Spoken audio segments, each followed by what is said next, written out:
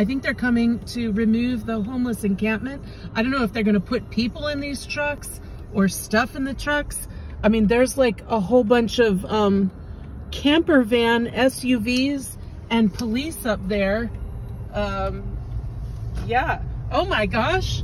They're in the complex too. There's like hostage situation. They're they're removing homeless. There are like 20 policemen up there. Are you kidding me? Oh my gosh, we're gonna check this out.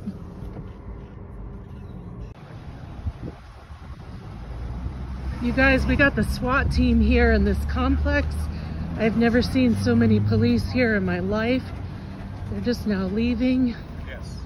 As some incident happened. I guess we'll have to watch the five o'clock news